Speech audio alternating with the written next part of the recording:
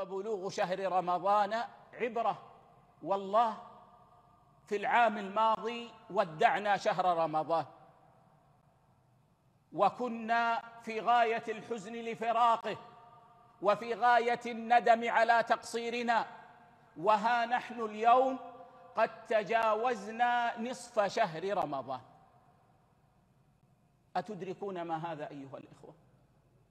أتعلمون ما يعني هذا يا أيها الإخوة إنه عام مضى من أعمالنا. يقربنا إلى قبورنا. نحمل ما قدمنا من خير إن قدمنا ونحمل أوزارنا على ظهورنا. عام مضى والعمر محدود.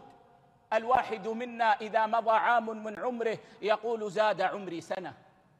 وحقيقة الأمر أن عمره نقص سنة. واقترب من قبره إنا لنفرح بالأيام نقطعها وكل يوم مضى يدني من الأجل. فاعمل لنفسك قبل الموت مجتهدا فإنما الربح والخسران في العمل.